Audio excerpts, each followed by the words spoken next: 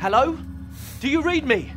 This is Anthony Arctic of the Global Force Protection League, an international organisation responsible for the safety of planet Earth. The ice is melting, the earth is warming. Climate change is more important than anything else.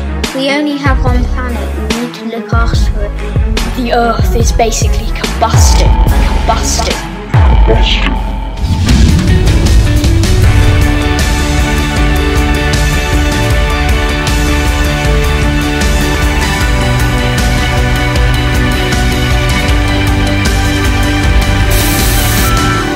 Done, agents. You cracked the code.